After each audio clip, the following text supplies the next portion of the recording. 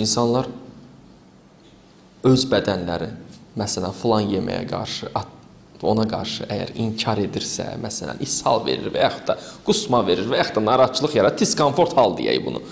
Yaradırsa orqanizmə təşəkkür etməlisən ki, sən nə yaxşı mənə mesaj verirsən. Və tönzümlə də o deyir ki, bunu eləmə. Mən demirəm biz hamımız stabil, hamı eyni qədər. Bəli, birinin bəlkə 100 kiloqram çəkisi var. Birinin 45 kiloqram. Hamısı 3 litr su içməməlidir. 45 kiloqram niyə 3 litr içmir?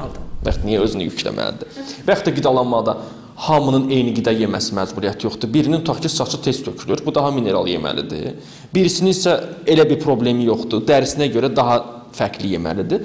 Yemək mövzusuna gəldikdə, məsələn, çox maraqlı bir hal baş verir. İndi hal-hazırda xəstəlik də çoxdur, xəstə də çoxdur, klinikada çoxdur, həkim də çoxdur. Belə bir mövzuya gəlirəm. Elədir ki, var və qidalanma da çox önəmli də. Çox doktor. gözəl. Mən ə, e, maye qəbulu çox önəmlidir. Çox, çox. Əlbəttə biz mən az qala dərman kimi e, təsir eləyir.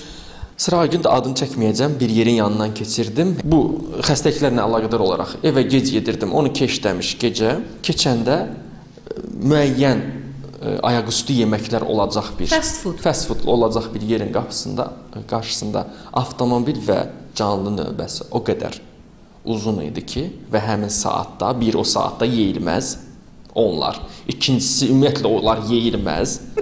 Üçüncüsü bu qədər yeyilməz. Doktor 5 il olar ki, mən tövbə eləmişəm, yəni fast fooda, yəni yox demişəm, yəni və yemirəm.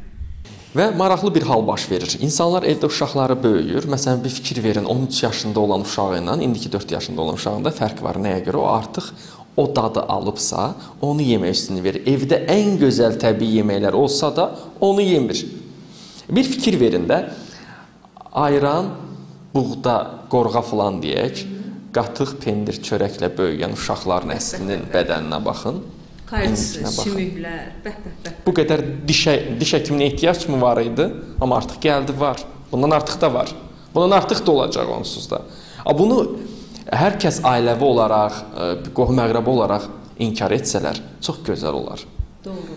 Çünki bizim çox şükür ki, Azərbaycanımızda elə gözəl nemətlər var ki, bizə o çatır. Başqa ölkələrdə çatmır. Başqa ölkələrin yeməklərinin dadını bilirsiniz. Başqa ölkənin e, belə bir çıxması mədəniyyəti yox, mətbəxi yox, neynəsin? Məcburdur əl üstü e, yarım fabrikatlara çox üstünlük e, verirlər. Yola verir də vəziyyəti, hə? Bizim mətbəximizə nə gəlib? Yəni çeşidimizə nə gəlib? 150 cür plov plovumuz var elə. Bəli, və yaxud da daha daha, məsələn, e, birisi öz orqanizmini başa düşməlidir ki, mən bağırsağımı hər gün saat kimi işlətməkdən ötürü bağırsaq bilir ki, ikinci beyindir və immunitet mərkəzidir, belə deyək. Bağırsağınızda bir problem başladısa, bilin ki, başqa yerlərdə problem olacaq. Məsələn, dəri xəstəsi birinci bağırsağını soruşmaq lazımdır. Çünki dəri bağırsaqların güclüsüdür. Baxır ki, bir insan 4 gündən bir 14 gündən bir bayırı böyü bayıra gedən insanlar var. Allah Allah. Bu bağırsağını soruşsan ki, sulu yemək yox, heç uşaq xoşu gəlmir. Xoşu gəlmir nədir? Elə şey var. Bu Virus xəstəliyinə də test tutulacaq. Bakteriyaya da test tutulacaq. Göbələk xəstəliyinə də və s. bildiyimiz infeksion xəstəlik. Birbaşa tıxanma var da adamda yəni. Və həmin vaxtda da necə olur? Lazımsız qidalanma, lazımsız həyat tərzi, xəstəlik çıxmır evdən. Tutaq ki, birinin evində 5-6 nəfər varsa, dönür elə dövrə eləyir. Həkimə, klinikaya, oraya, buraya gedir, o bir diaqnoz qoydu, bu bunu elədi, onun dərmanı yazdı, bu dərmanı yazdı, ev olur bir aptek, xəstəxana. bəli, xəstəxanaya dönür. Və bu da adamı bir tərəfdən də depressiyona sala bilər ki, bəzən baxırsan ki, bir ailədən o qədər xəstə gəlir ki, və xəstələr artıq beziblər ki, biz nə qədər xəstələnərik? Niyə xəstələnirsiz?